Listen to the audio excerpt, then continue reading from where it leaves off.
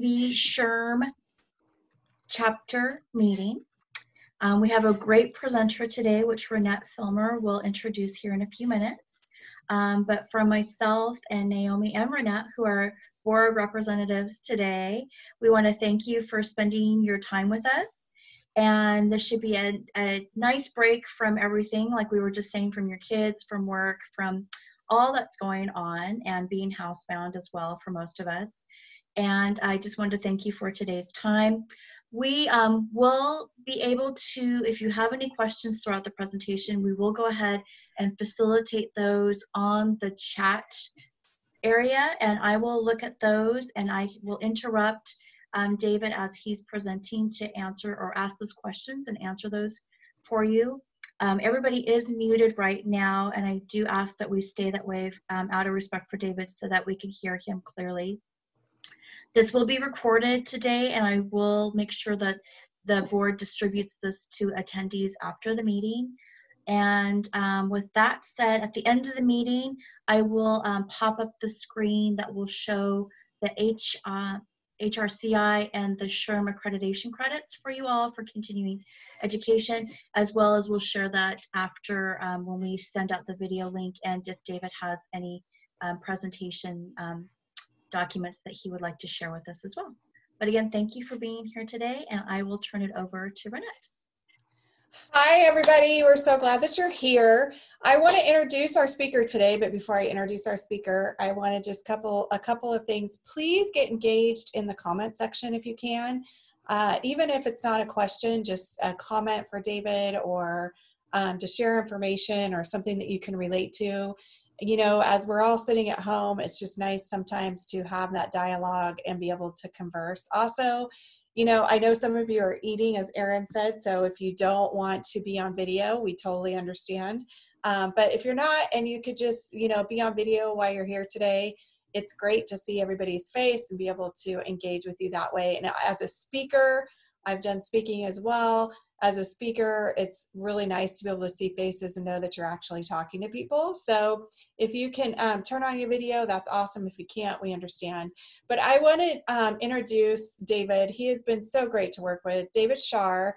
He is um, a president. He's the president of Illuminate PMC and a creator of the the burnout proof culture model. Uh, he's a keynote speaker, consultant, and trainer specializing in organizational improvement uh, with their leadership and culture, combat burnout, which we are all feeling burnout right now, and design meaning, um, and he likes to design meaningful work. Excuse me. David combines decades of leadership experience with the latest psychological research to help attract, retain, and motivate our top talent. It's what we need to do right now is motivate. David holds a bachelor's in human resource management for, from Colorado State University and his master's in industrial organizational psychology from the University of Maryland, College Park. He is a current doctoral candidate in business psychology at the Chicago School of Professional Psychology, where he is studying the interaction between meaningful work and burnout. David is not your typical academic. As a scientist, pra- uh, practitioner, translator, David makes leadership theory and business psychology accessible implementable and fun through the use of humor and storytelling. So I'd like to introduce David Shar, but I'd also like to say if your businesses are in need of help, you know, help as far as burnout, David Shar is your go-to guy, and we will provide his information after this uh, presentation today. So David, I'm going to roll it over to you. Thank you so much, Renette, and thank you everybody for being here. Um, I know you guys are going through a lot right now, um, Renette was kind enough to send me a link to one of your local news sources. And uh, I thought we had it bad in Baltimore with this new, like, new lockdown stuff. Um, you guys are going through a lot and have been headlining a lot of a lot of the stuff uh, over this over 2020. And, and um, so I hope you are all doing well and staying safe, um, and also taking care of yourself and your employees. Um, today, we're going to be talking about building a kinder kind of workplace, and that's kind of a moving target when we think about what that means. Uh, because that uh, 2020 is all about burnout, um, and what our employees need from us right now is support more than ever. Uh, at the same time, it's very difficult to be providing that sort of support when we're the ones that are feeling burnout as well. Uh, wherever you are in the HR world, uh, your job got a lot more complicated recently. And so we need to remember to be taking care of ourselves and to be taking care of our people. I wanted to introduce you guys to a little bit of maybe new to you technology. Um, and uh, because it wouldn't be 2020 if we didn't do that. So uh, we're gonna have you go to Poll Everywhere and we're gonna put a link to it in the chat right now. Thank you, David. So uh, there's another David off camera, by the way. So we're, we're actually live downtown Baltimore um, from a studio. Uh, not because I need the studio, but because this is where my, my five kids and 120 pound dog can't find me, by the way. So um, we're going to go to Poll Everywhere. And if you pull it up on your phone, this website address, or you just click it and open it in a different tab, that's fine. Just make sure to come back afterwards. But we're going to ask you a couple questions throughout this presentation uh, where I really want your feedback. So to start it off, here's the question. How burned out do you feel right now in this moment of time? And can everybody see this, uh, this scale over here? It's everything from the red frowny face to the, to the green smiley face, right? Red, red, uh, green smiley face means you are feeling good, you're feeling energized, you're feeling motivated every day, hopping out of bed, can't, can't wait to start your work. The red frowny face is more like you spend most of your days curled up in the fetal position, uh, maybe wearing an oversized red bathrobe. Um, not talking about anybody specific because my wife sometimes does watch the videos of my talks, but that's okay. Um, but I want to know where you guys fit on this scale. So on your poll everywhere access, you can click anywhere in there, and um, where represents that represents you best where you're feeling today. Do we have anybody looking in there? Yep. Yeah, we got. Um, it's like everyone's in the middle. Nobody's Okay, on either so- extreme. All right, so we're in the middle. That's good. That's good. Now, I want to say something about this scale because this scale is about more than where you are on the scale. It actually is much more important to understand not only where you are, but also the fact that people are everywhere on this scale.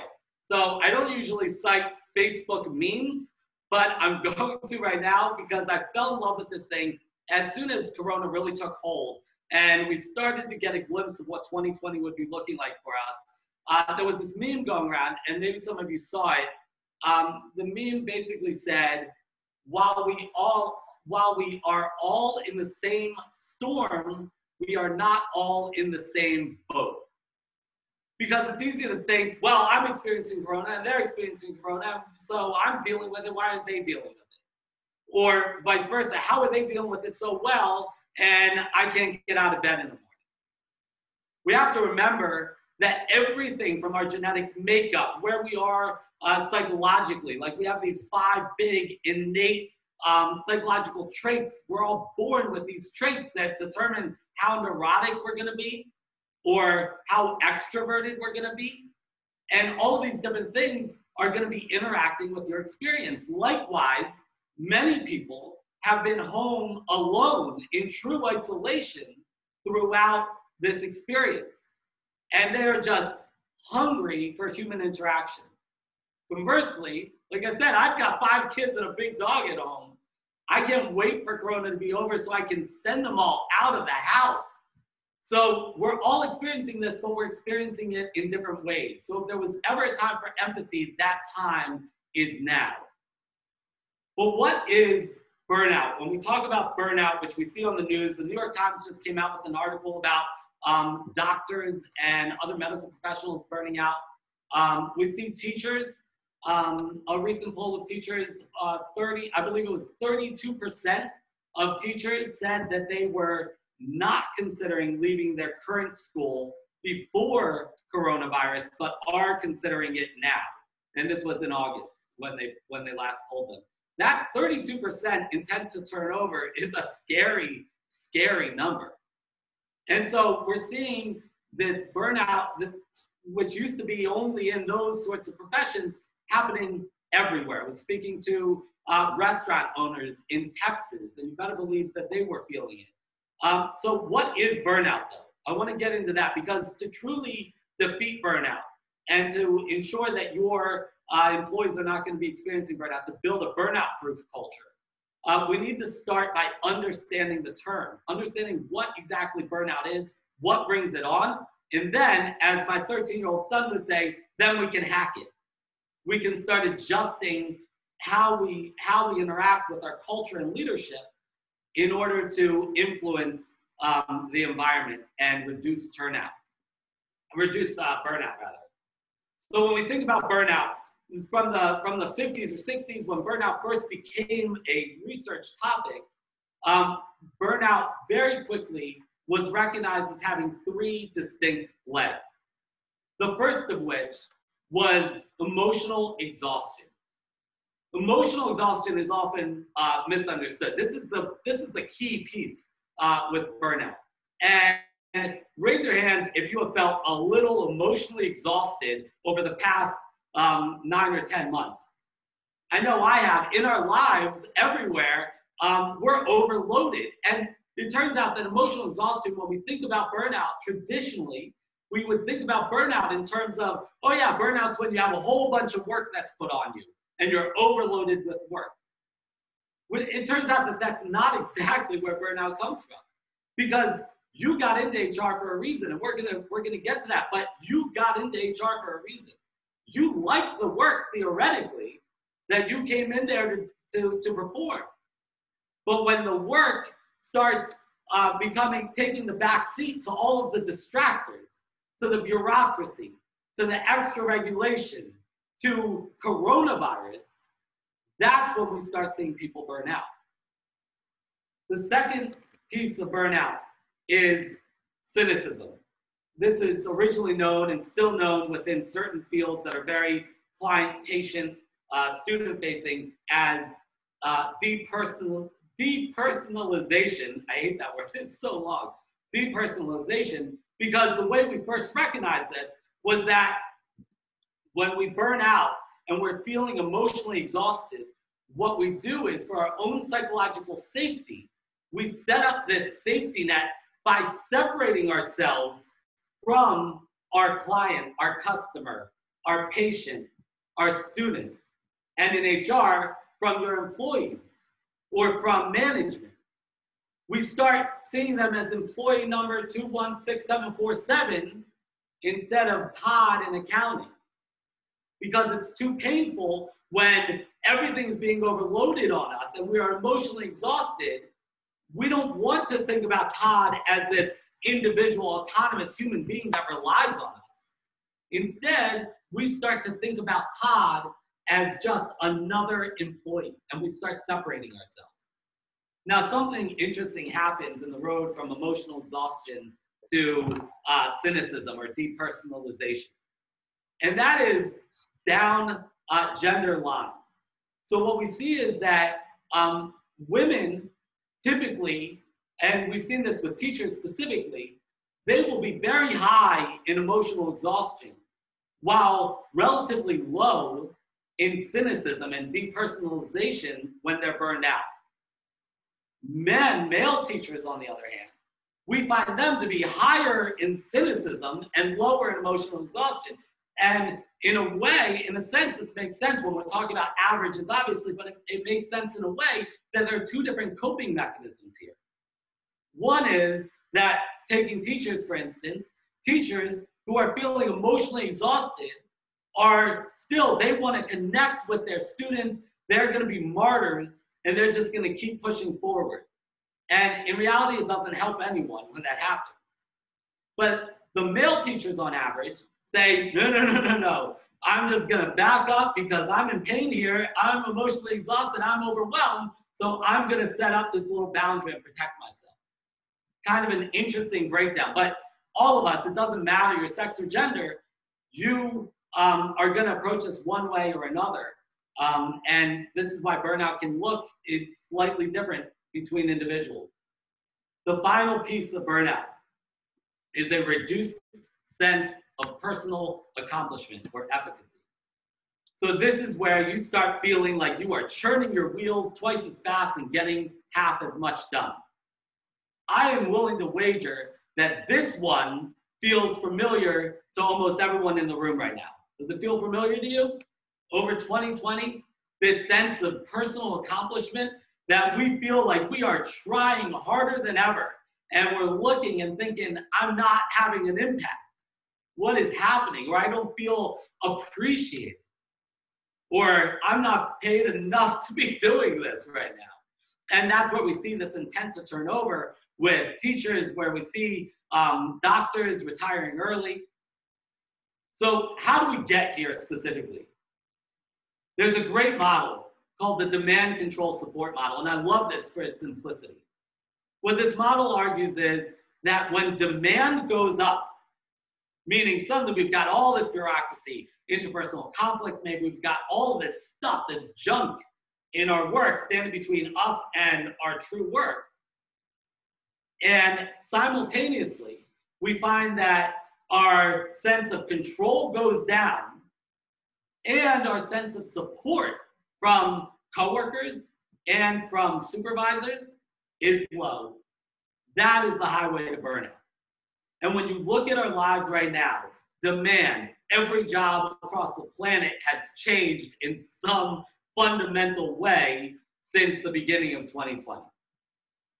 Control. When we look at the news, you feel out of control. We keep getting different answers. It doesn't matter which news station you watch. Everybody's um, everybody is saying one thing one minute, and then and then the facts on the ground change, and and uh, the, the talking heads start disagreeing with each other. We want answers, and the answers aren't there. We want to know when this is going to be done, and that answer no one can tell you. And so we feel like this lack of control in our lives, which by the way is directly connected to feelings of depression, this loss of of feeling this learned helplessness that, that we don't we are no longer in control of our own destiny. And this lack of support. I don't know about you guys. I'm probably too old to be admitting this but when i have a really bad day i want to give my mom a hug. I, I, I live right down the street from my mom and i've been able to give her a hug or come within six feet of her for nine or ten months now and so there is this feeling of isolation, this feeling that we have a lack of support, and from our coworkers and from your fellow SHRM members. Connecting through Zoom is not the same thing. So, what can we do about it? I want to talk to you guys about the demand. So, I grew up um, in an Orthodox Jewish home. And I don't know how many of you are familiar with the culture. But let's just say it took me until college when I realized I was a horrible dancer. So growing up in the Orthodox Jewish community, dancing to me meant that I'd get in a big circle, everyone would hold hands, and we would walk to the right or we would walk to the left if we wanted to be really fancy. That was dancing. There's an old story in that community. And the story goes that this man was traveling out of town and he goes to a wedding being held in the social hall of a really old synagogue. And so he gets in the circle and he's dancing and he notices something really, really strange. Every time people got to this one specific spot on the dance floor, they bowed. He had never seen a custom like this. This intrigued him. So he turned to the man next to him and he said, Excuse me, why every time we get to that one spot do we bow? And the man said, Oh, great question. We've always done that. He said, Yeah, but why? And the man said, I don't know, because that's how we do it. And after the man pushed, the, the, the guest kept pushing. The man said, Ask the rabbi. So he goes to the rabbi. The rabbi is embarrassed. He doesn't know the answer, but it's what we've always done. He's sure that it's got this holy reason to it. But the only person who might have an answer is that guy. And he points out to the elder of the synagogue, the one guy that was there from the beginning. And he asks him the same question. And the elder looks at him and he says, Oh, that? There used to be a chandelier there. There used to be a chandelier there. And so for decades, everyone bowed, they ducked when they got to where the chandelier used to be. And I am willing to bet that that's happening in your organization. How many chandeliers are you bowing for? How many things in your culture, how many customs in your culture, either your written policy or your culture, the unwritten policy, how much of that is just there because it used to make sense, or even worse, because it made sense for some competitor that you benchmarked against? But it just remains. One of my biggest frustrations before Corona, I would walk into organizations and say, Why are you doing any telework? It's what your employees are asking for. And I'd always get these answers, ah, we just never done, we, it's not something we do. Of course it's not something you do because we never had the technology to do it in the past. It reminded me of, and I have to admit, I used to be a biology student. I was, uh, I had this goal of being um, a veterinarian because I thought I could just play with dogs all day. Turns out I needed to be good at math and science, so that's where I'm am now. But when I was in biology, before it was sort of a joint decision between me and every science professor I ever had that maybe I should switch to business. Um, I learned about this concept called vestigial structures. Vestigial structures, a great example of this are your wisdom teeth. They're things that once existed for a reason. Your wisdom teeth, apparently, we used to eat different things and so our wisdom teeth were really helpful in breaking down that food, the types of foods we used to eat. Our diet has obviously changed. And so our, we have no need for our wisdom teeth anymore. And in fact, our entire jaw, jaw structure has changed. But the wisdom teeth have remained. And now, instead of being the key to our survival, the key to our nourishment, they are a pain, literally and figuratively, for almost every teenager or early 20 something in the world. And we have to go, we have to get them extracted. That's what this was when people would say, oh, no, no, no, no, no, no, no, we don't do telework.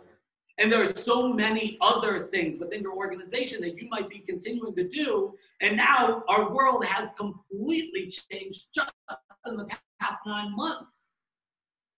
You have to ask yourself, why am I still doing it? And when we understand demand as all the things that get in the way, they get in between us and the job that we are here to do. Just as you are in HR for a reason, your employees entered your organization, their line of work, for a reason. And every little thing that stands in the way of them accomplishing their why is something that's leading them directly toward burnout. The second piece here is control. And with control, we talk about autonomy and even more specifically, decision authority. Like I said before, we are experiencing learned helplessness. You had plans. Whatever your plans were, you had plans. You knew something about where you were going, the trajectory of your life, and then what? 2020 hit, and now we're lost. And so you feel out of control. And that work can be, uh, can, can pile on more of that loss of sense of control. Or it can be the antidote. It can be the place where you go to find control. When we talk to our employees, it's not just about telling them what to do and telling them that you're here for them. That's great. But when you are just telling them what to do, they continue to feel lost and powerless. And also, when you say, here's what I need you to do, you do it how you want to do it. That's not good enough either, the research shows. The research shows that they need decision authority. That you need to go to them and say, what do you think we should do? Give them a say, and that will give them some power. When we find that people are feeling depressed, what do we tell them to do? Oftentimes, you'll suggest, jog around the block. Because if you can get yourself just to go around the block once, you're now in control. And that's going to start spilling over. So I want to go back to poll everywhere here. And I want to understand, we talked about your why. I want to understand your why. Why did you choose to work in HR? If you can answer this with one word, that would be great. But you don't have to limit yourself to one word, just one word at a time. We have a smaller group today. Um, so if there's multiple reasons, I want you to put those up, but but submit them as separate as separate things if, if it will, will allow you to. And so if you click right over to your poll everywhere, you should be able to enter those. And David's gonna read some off for me. I got people. People. That one comes up in HR every time. I love it. That is the essence of what we do.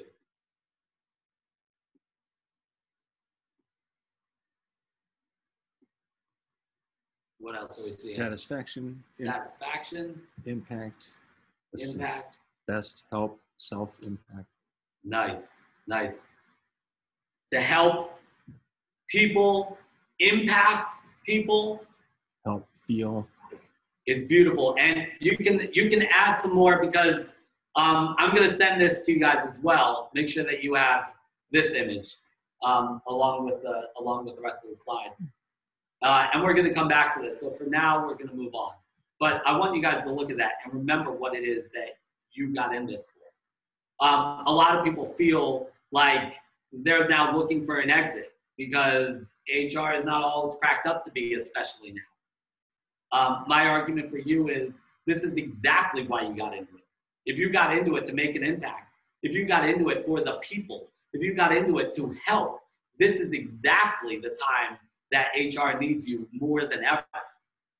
People are lost, and you are in that seat where you can help them. Maybe more than anything, because work, more than anything, brings some sense of control and some sense of purpose right now. The final piece of this DCS demand control support model is support. And support needs to come in two ways emotional support. Emotional support being, I'm here for you, I'm a sounding board, tell me your problems, that sort of stuff. And then there's instrumental support. And that's actually helping people help lift their load a little bit wherever you can. So when I first got married, my wife and I, um, my wife would go off to work and she'd come back and she's a first grade teacher and she would start um, complaining about things that happened at, at work and complaining about the kids and what. And I used to jump in there, I'd be like, okay, what can I do to help? How can I help? Here's what I think you should do. And she would cut me off and she's like, stop. We'd be like, what do you stop? You came to me for help. She said, I don't want you to talk, I want to talk. She just wanted me to listen. So I got it. So the next day, she came home from work and she started telling me about work and then telling me about these issues that we were having with our son. And I said, I hear you. I'm here for you. And she said, What are you talking about? I said, What do you mean, what am I talking about? I'm here for you. And she said, No, I need you to jump in here. I can't do this all on my own. You got to take care of our son. How do you know when somebody's coming to you for emotional support versus instrumental support? Here's a trick ask them. Ask them. And by the way, people don't ask. People jump to, to uh, conclusions and oftentimes are wrong and get themselves yelled at like I did. But when you do ask somebody, oftentimes it will knock them off their feet for a second. It will make them think, what do I want from this conversation? Why am I here? And through that, you end up having a much more productive time where you are more capable to help somebody. I was once giving one of these talks and somebody said, Yeah, but people always come and nag. Like, your, if your employees aren't nagging to you, sometimes somebody can be negative and just want to complain about, fine, let's get to the root cause. Why is that happening? But when somebody is coming to you and nagging, oftentimes they just need to have a voice, they need a sounding board. They need you to be there for them. And that is as essential as you being there to support them through this crisis in other more constructive, I guess, ways. It's hard to ask for help. And so if we go over to poll everywhere, this can be Um, you can put in an answer here. I believe it, it can be a full sentence. Uh, you put in an answer here. What can your coworkers do to support you? And I think this is important to do within the safe space like your SHRM chapter and where the answers are anonymous. Because what I find is that people find it difficult to ask for help. And I find that this happens the more tenured you are. It happens the more along that line that you get where people start, or you act, you at least assume that people think of you as the one with all the answers. The issue here is that, so I had a, I had a call after one of these talks. I was talking to teachers and my phone rings almost directly afterwards. And it's a teacher who had been working for like 30 years. She had been working. And she said, Thank you so much for letting me know that it was okay to not know, to not have all the answers right now, to not be able to handle this on my own right now. Because she had started her school year thinking, Nope, I'm the tenured teacher. I've got to figure this out. And now you have this 50 something year old woman trying to figure out Zoom for the first time in her life and thinking that because she wasn't being super effective teaching her students over Zoom, that that was some sort of reflection on her as a teacher and even more so as a tenured teacher. She had forgotten how to ask others for help. So I think it's extremely important that you read the slide. And what are they saying, David? Oh, all kinds of stuff. Ask, They're communicate, ask, collaboration, understand, understand, collaboration. um, empathetic, Empathy. priorities, Yes, I love these answers, and these are these are golden, and they're so important.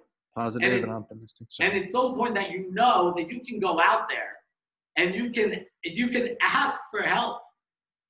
You might feel like like you're some sort of imposter or failure by asking others, but that's not how others are seeing it.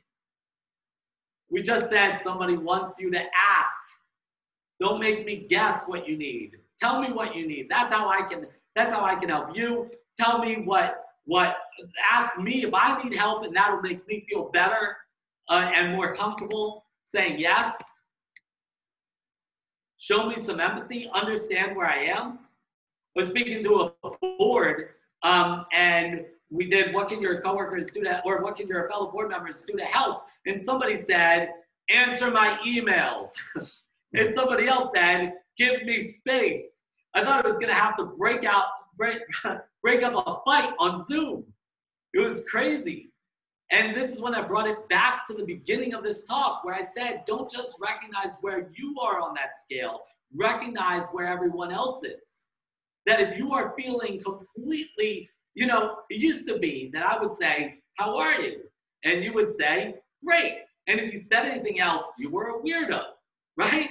I mean, that's the way society works. That's our cultural norm. How are you? Great, good, okay, bye. In 2020, if I say, How are you? and you say, Great, you seem insensitive. Like, what? You're great? We feel ashamed if we're feeling great. We feel ashamed if we're feeling awful. It's as if there is no right answer. But I'm going to tell you that all of the answers are the right answer. It is 100% okay for 2020 to be your best year ever. You are on an individual journey. Nobody has the same package of personality traits and life experiences and journey that you do. And it is a-okay and great, and I'm happy for you if you're doing amazing right now. It is equally okay and normal and completely understandable if you are struggling every single day. There is no shame in that. And we need to take this lesson with us. This is the first time that I can think of where we are all, su- besides from maybe 9 11, where we are all suffering together.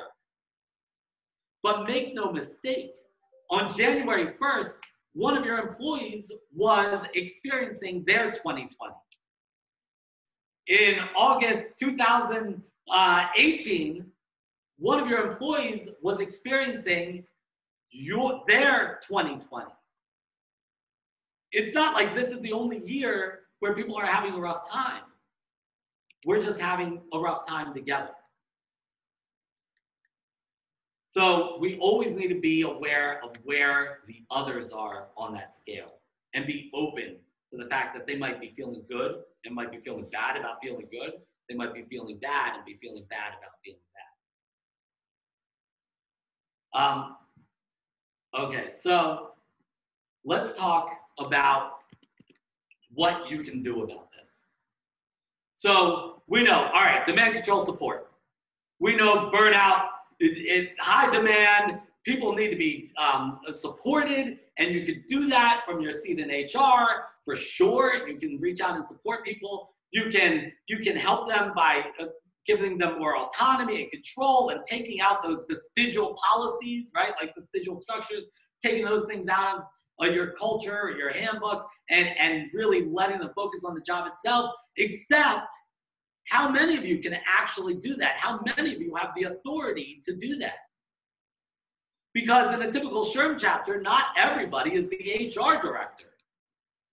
There are first year um, people in benefits and there's and there's people in recruiting and people that might not have the same um, authority or power within the organization as others sitting in this zoom room and so what can you do about it well i would argue that you can go and influence others from anywhere within the organization how do you build a kinder kind of workplace be kinder and I know that sounds really oversimplified. And I think I think in a way it is.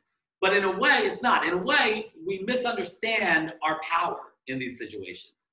One of my favorite experiments of all time. They brought together a room full of people. Big group of people, and they let them loose in a huge auditorium. Nothing interesting about this auditorium except that on the walls there were big letters. There was an A, a B over here, a C, and a D over here. And they let them all into the room with three instructions. They said to them, they said, we want you to walk into this room and not communicate with any other person. And when we say communicate, do not talk, do not touch, do not motion, nothing. That's rule number one. Rule number two, we want you to always stay within an arm's reach, not touching, but within an arm's reach of at least one other person as you walk through this room. Rule number three walk randomly. And they sent them all in. What people didn't understand was beforehand they had called maybe three or four people aside and they said, All right, we're going to lay out these rules, but you have a slightly modified set of rules. They said, First rule is the same you cannot communicate with anybody in any way whatsoever. Rule number two is the same you need to stay within an arm's reach, but do not touch, but stay within an arm's reach of at least one other person at all times. Rule number three, we want you to make your way to marker C, the wall where C is written on the wall. And so when they let all these people in, they all sort of start milling every which way, and slowly but surely, they all begin to congregate right there at marker C. Kind of interesting. What, what was happening here is flocking behavior, right? I told you I flunked out of science, so me explaining to you flocking behavior, that we're not going that way. But what I found extremely fascinating about this study was what happened afterwards. The researchers went to the participants and they said, How'd you end up here? And the answer again and again and again was, I don't know, it was random. And when the researchers told them, no, you were actually led here, nobody believed them. This is true leadership. This is, we know this from change management theory. That change we think comes from the top down and is dictated what true change, lasting change needs to come from the bottom up. So how do you create a kinder kind of workplace? How do you create a workplace that's gonna uh, diminish burnout? It starts with you no matter what seat you're in. Walk the walk. And people will follow you. And the coolest thing ever is that they won't even realize that they're following you. We know about this concept of emotional contagion. Emotional contagion is basically, we found that primates, humans, um, primates of all kinds, and birds share these things called mirror neurons. And what a mirror neuron is, is basically that when my brain flashes these things, your brain flashes these things, the same things. They, they were doing an experiment on monkeys. And they had the monkeys hooked up with these funny hats and they're looking at their brain waves. And the little intern comes in, it's hot day, starts licking an ice cream. And they see one of these monkeys that's all hooked up staring at the guy and specifically at his ice cream. And what they expect to see with his brain activity is that he's watching somebody eat ice cream, and therefore maybe he would um, have some sort of activity that would suggest that he is craving ice cream. But no, his brain, the monkey's brain, lights up, indicating that he, the monkey, is currently eating ice cream. He was literally experiencing the same thing that that man, the intern, was experiencing. This is what we have inside of us. This is part of our DNA. And that's why this works. Why you being positive will rub off on others and they in turn will start being positive. We know that moods are incredibly contagious, even more contagious than corona. And you know this. You've been in a room where somebody walks in with this dark cloud and you literally feel it. You literally feel it. But did you know that positive emotion is at least as, and some studies suggest more contagious than negative emotion. Try it. Turn and smile at somebody in the room with you, if there is somebody, right? It's contagious. It's contagious. And so all you need to do is walk into your workplace tomorrow and be happy. Or get on your Zoom call and be happy. All done, right?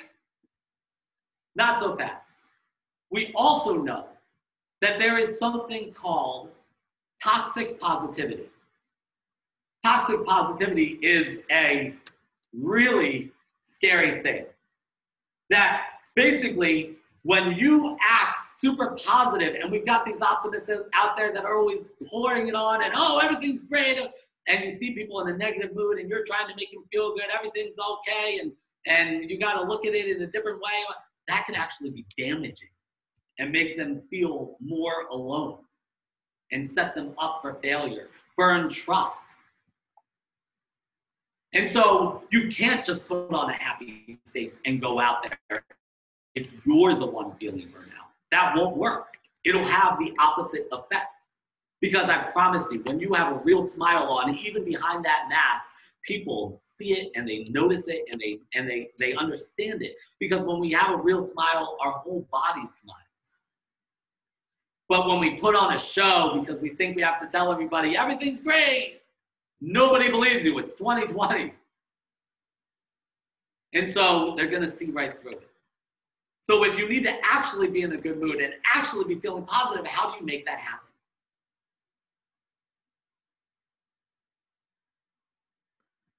I want to give you a quick problem. I told you I am horrible at science and specifically math but I'm going to give you a quick problem. So if you have a pen and paper next to you, you go ahead and grab that. A calculator, if you if you have one accessible, would be fine too. I'm going to tell you the bus problem. And excuse me because I'm going to read it. I don't want to mess up the bus problem here. You're driving a bus. The bus comes to its first stop. Five people get off. Is everybody with me? Give me a thumbs up if you're with me. Bus comes to the first stop, five people get off. The bus then makes a right turn where three, three people get off and two people get off. The bus then makes a left turn followed by another left turn where seven people get on and two people get off. Finally, the bus makes a right turn followed by a left turn and pulls up to the last stop of the day. Here's the question for you. And we'll go back to poll everywhere for this. What color are the bus driver's eyes? You go ahead and select your choice here, excuse me. And David, what are we seeing here? Let's see if anyone's commented yet.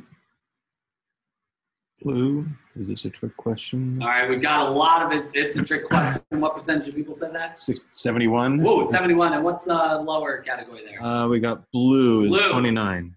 Blue. Okay. Who said who said blue? Somebody raising their hand for blue? I don't see. There's a lot of people with their cameras. Whoever gets blue, whoever got blue, they get bonus points as long as that's the right answer. Because yeah, actually the right answer is of course it's a trick question. Why would I ask it otherwise? I will say When- that there was one person that did admit it was Candace that said that she put blue. She put blue. Why, Candace? Can she tell us? It's the color of my eyes. It's the color of her eyes. When I began the problem, I said, You are driving a bus. This is on videotape. You can rewind it if you don't believe me at the end. But you are driving a bus. Candace's eye color is blue. She's the driver. So the correct answer would have been whatever color eyes you have. But of course, it's a trick question. And to understand what this is all about, um, I want to take you on a brief trip with me to Arizona um, many years ago, too many for me to think of. But the bus problem is clearly a focus problem and not a bus problem. Because what were you guys doing? You were thinking it's the math problem, lots of numbers here, or if you were trying to outsmart me, you were probably thinking, oh, he's talking a lot about right and left turns. It's going to be a directional sort of thing. But of course, we rarely see the thing that's right in front of us if it's not what we're looking for. So a while back, my wife and I had just had our first kid. Newborn son, had no idea what we were doing, no idea. And um, I got invited to go out to Arizona to do a week of training. So I went to my wife. We're still like putting diapers on his head. We're like trying to figure this out. And I said, Hey, honey, so. And I broke the news. And she said, I said, but, but my mom's right down the block. So if you need anything, and she said, What do you mean? We're coming with you. I said, We? Who? What? And she said, Me and her son, we're coming with you. I said, How are you coming with me? To Arizona? What are you going to do? So my wife and I were relatively newly married, like a year and some change married. We had a brand new baby, and we're like, we were we were one of those obnoxious couples. My wife was not exactly Miss Independent at the time, and neither was I. We were like connected like this. And so, what was she gonna do? She was gonna come to Arizona with me and sit in a hotel as I went and did this training from nine to five every day. She said, "No, we're gonna rent a car. Me and our son, me and our son, we're gonna jump in the car every day. We're gonna drop you off at the training, and then we're gonna go explore Arizona." And now we're from um, Baltimore, so I don't know if you know about the Northeast. We're very small states around here. And so she thinks she'll just traverse Arizona every day because Maryland, you could do that in a couple hours. but this was her plan. So we get to Arizona and we rent this car, and this car was really interesting. It was, really cool. It looked like a hearse, but not in a depressing way, like a, a cool way, right? I don't know what that means, but uh, this car really looks like a hearse. And um, my wife um, rents the car, and she does exactly what she said she was gonna do. She starts driving this car everywhere around Arizona, drops me off, goes on a trip, comes back, tells me about her day, does it again, does it again, does it again, each day. It was amazing. And now she is falling madly in love with this car because, I mean, this was like not just a cool car, but this was now linked to her, her new feelings of independence. So at the end of our trip, we get to the airport and return the car. She literally gives it a hug and says, You know, our van is on its last legs. I said, Yeah. She said, When we get back to Baltimore, let's get one of these. I said, Honey, we can't get one of these. She said, Why not? I said, Because this is a West Coast car. She said, What's a West Coast car? I said, Rachel, it's a West Coast car. Have you ever seen one of these on the East Coast? She said, Well, no. I said, Exactly. Neither have I. They only sell them on the West Coast. Now, for those of you who know as little about cars as I do, no such thing as a West Coast car. But don't want to spoil the end. So we end up jumping in the airplane, um, flying back to Baltimore. We get to long-term parking where a van is parked. We're walking, making our way over there, and my wife starts freaking out. She starts hitting me, screaming. I'm like, what? What's going on? Three spots down from our van, the West Coast car. We then get in the van, start driving down the highway toward our home. She starts freaking out again, almost runs me off the road as we pass the West Coast car. Things were getting weird, but I didn't fully feel like I was in the Twilight Zone, or would it be like Black Mirror now? Is that what the younger people are calling it? But I didn't fully feel like we were in the Twilight Zone until we pulled into our neighborhood. And our neighbor, maybe six or seven houses down, in their driveway, the West Car. So what in the world was happening here? Either this car ended ended up selling like hotcakes in the one week we were in Arizona, or there was something else going on. And as it turns out, the 2007 Dodge Magnum never sold like hotcakes. So what was happening? A couple years earlier, my wife and I decided to do something stupid. We jumped out of an airplane. How many of you have gone skydiving? So none of you? I'm not seeing any. So so you're One. one. So on average, you guys are, are much less reckless than us. So we decided we're going to jump out of an airplane. So when you go to jump out of an airplane, you show up and they take your money and then they send you to training. By the way, no money back, no cancellations. They have your money. So now they'll explain to you how if your chute doesn't open and you damage property, your estate's gonna have to pay for it. And they're like, what? And then in that training, they explain something else to you. They explain to you this concept of sensory overload. And what sensory overload is, is this idea that when you step out of an airplane for the first time in your life, suddenly you are hit with all of these senses that you have never felt before in your life. Everything is quite figuratively and literally rushing up at you, and your brain is trying to focus on something, doesn't know what to focus on, so you black out. Now, chivalry is not dead. So we get up to whatever thousand feet we need to be flying at. And I tell my wife, please, ladies first. So she goes tumbling out of the airplane with the guy strapped to her back because we're doing tandem jumping. And she's on her way to Earth. I'm like, oh my God, this is crazy. How do I back out now? So the guy on my back refused to back out. And we go tumbling out after. That's all I remember. I blacked out. Sensory overload big time you see on the video, the guy's pulling at my hair. I used to have some. He's like doing everything to get my attention, slapping at my cheeks. Nothing is waking me up. I told him I wanted to pull the cord. The guy refuses to pull the cord because I told him I wanted to pull the rip cord. Um, eventually, he ends up pulling the cord because I am out of it.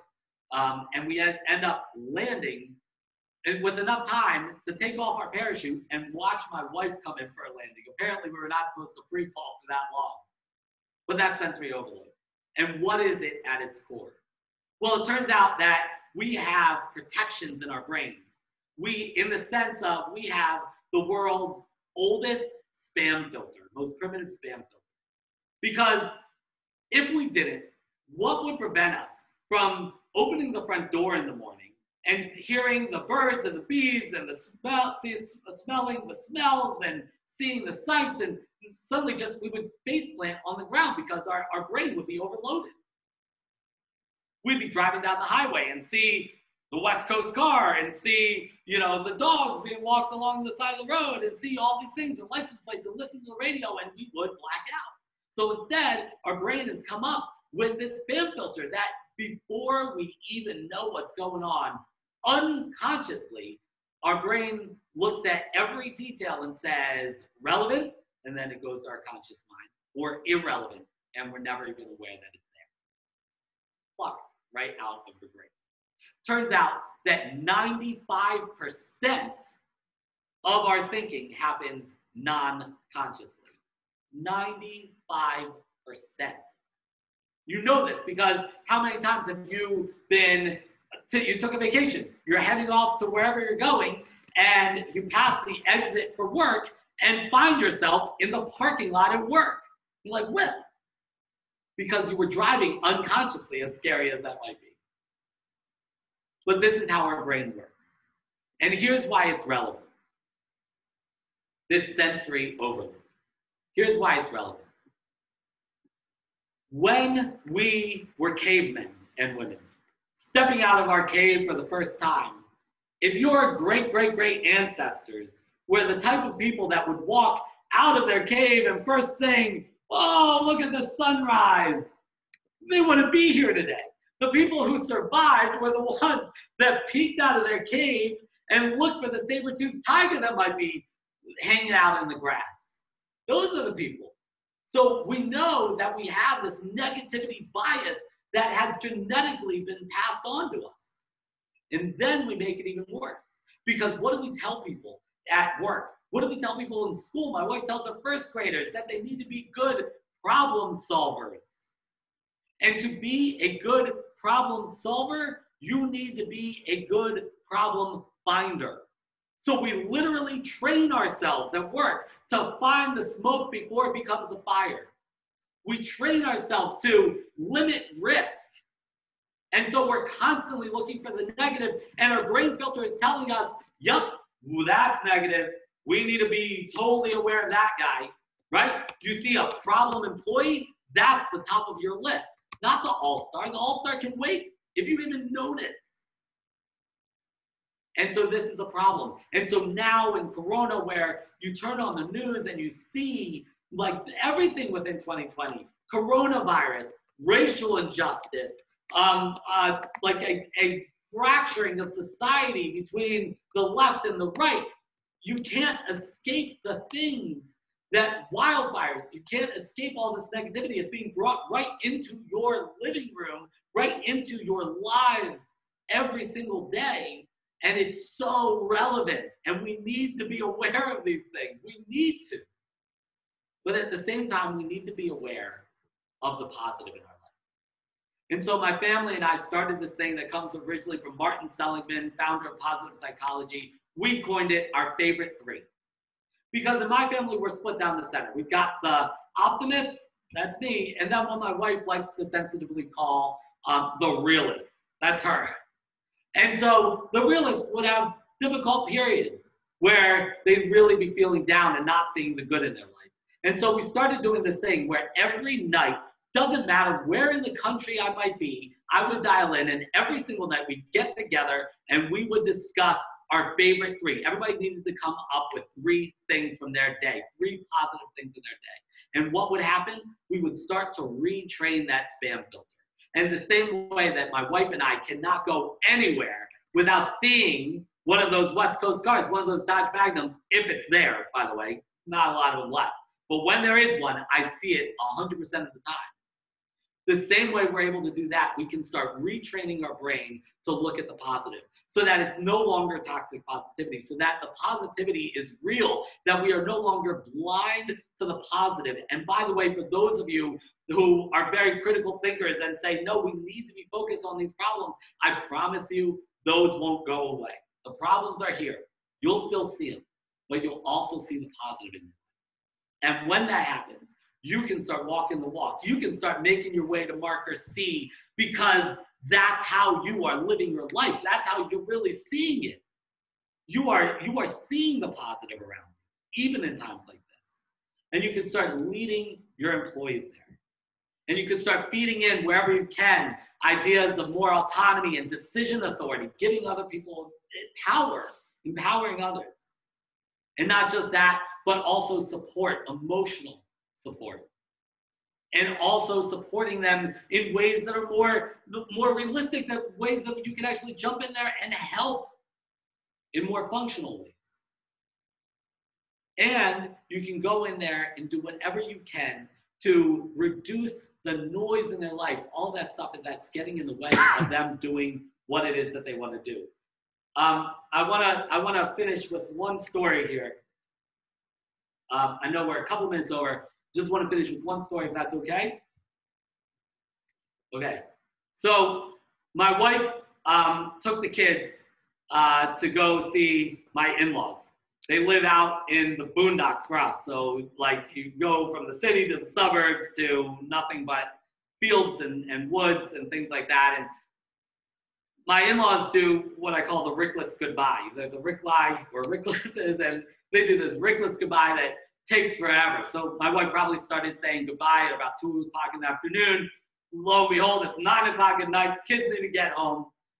Our two oldest, at that time, we had our five-year-old sitting in the middle seat, looking outside the window as they drove home. And in the way back, our three-year-old in her car seat, presumably fast asleep. So my wife has the radio off, just gentle, quiet ride home. Until my son speaks up because he's looking out the window and they pass a herd of deer and he says, Mommy, what's the purpose of deer? My wife thinks and says, Remember, she's a first grade teacher, so she turns it right back on him and says, I don't know, honey. What do you think the purpose of deer is? And they go back and forth. What's the purpose of deer? To add grace to the world, to feed the foxes. That was his idea. He's not 13, he's fine, but that was a little disturbing. But uh, they go back and forth until it gets quiet in the car again. And then from that back seat where everybody thought my daughter, Rena, was fast asleep, they hear this little peep. Mommy, what's my purpose?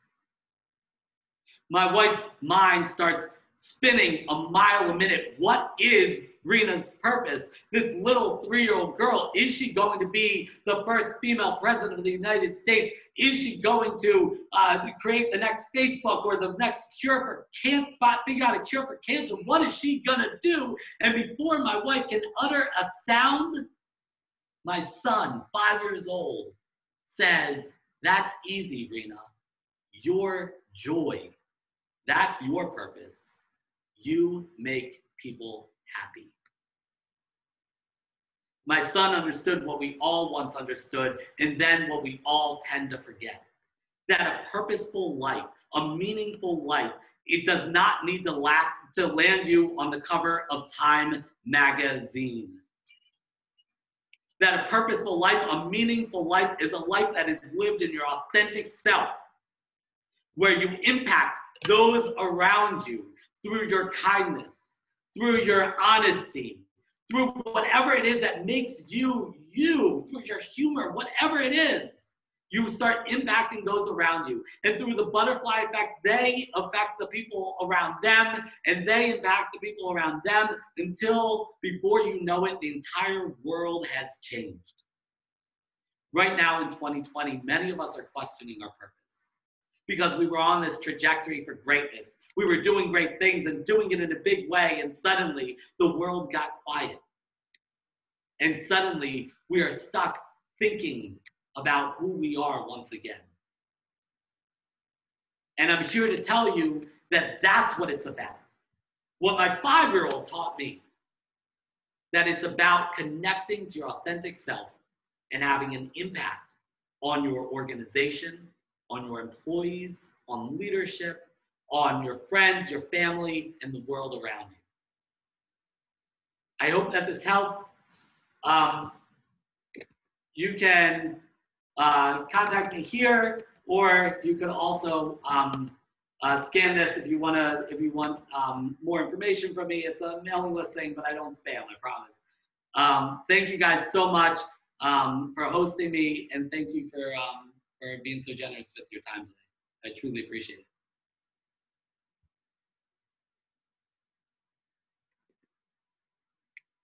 And do we have any questions? Great stories and ideas. This is just what I needed today. Thank you for being a breath of fresh air. I feel ready to conquer the world. do it.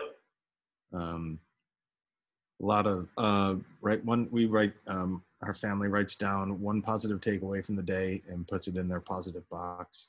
Love it. And uh, I live alone, but when I have dinner with family, we all say what our favorite part of the day is. It's especially fun to hear the grandkids. I love that people are using this concept. Another great concept is um, besides for favorite three or putting the favorite item in the in the box, which I absolutely love, or talking about it with family. Another way that you can do this, by the way, Um, an alternative to this is a gratitude journal, which we hear a lot about, where you just write it down in a book.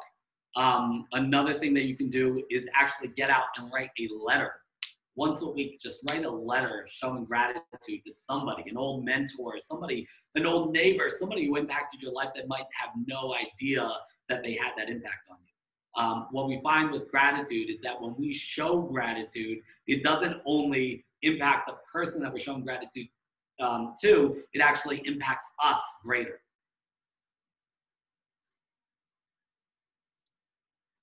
Well, David, I just have to say, um, as you can see, the, the comments or have heard the comments coming in, this was really, I think, what everybody needed. What a great way for the middle of the week to finish it off. I mean, I certainly feel like, wow, like I feel like I just had a big weight lifted off of me. So I just admire your positivity and I love your family stories. I think they're so relatable for many of us on so many levels.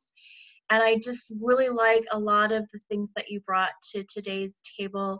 And um, I, I, I, just want to thank you for your time as well, um, and as well as the other David too. Um, but thank you both so very, very much. And I don't know if we do have any last minute questions or comments from anyone today. Yeah, if anybody has a question, I'm I'm here. And if you can't think of one now, you can certainly reach out. Um, I'm very accessible. So um, email, phone, text, whatever. Just give me 24 hours to get back to you. We'll certainly share your information, as Renette said. Um, so with that coming to an end, I'm going to just share my screen really fast to show the information for the credit. But again, we'll distribute this after the meeting for all the attendees as well as the uh, video recording. And David, too, if you wanted to share your PowerPoint presentation. Um, also, I want to say I love that you use Polly because it's something that we were trying to start using on MS Teams um, because yeah. Teams doesn't have that poll feature that Zoom does. So I liked you using it and seeing how it did work really well with your presentation.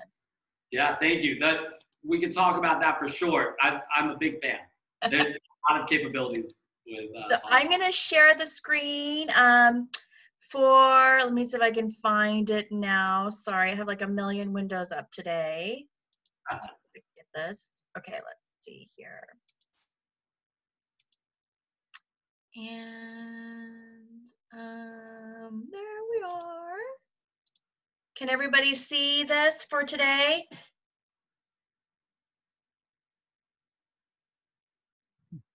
And then I'll leave it up for just a couple of minutes. And again, if um, there wasn't enough time, we will certainly distribute this out. I know we had to have a couple of members leave because they had prior commitments. It seems to be the way of the world. It's Zoom meeting, Teams meeting, back to back to back to back, right? Or if you've got kids um, going on their um, Google Classrooms or whatever that they're using for school right now. So um, if you didn't get this, uh, we will certainly share this uh, with everybody after today's session. And again, just a huge thanks for everybody attending, um, for David and David. And we just want to say we hope that you have a very safe and wonderful Thanksgiving. Um, let me see. Does it have? Nope, I guess it's it. Oh, hold on. There might be someone in chat here. I'm going to stop my share. Nope. Yes, Deborah, thank you. Said Deborah also said thank you, David, and to the chapter for the, the meeting and happy holidays. Um, and again, yeah, everybody just have a great Thanksgiving, have a wonderful holiday, be very safe, and best to you all. And we'll um, see you next month. Thanks, guys. Bye. Bye. Happy Thanksgiving. Happy Thanksgiving, David.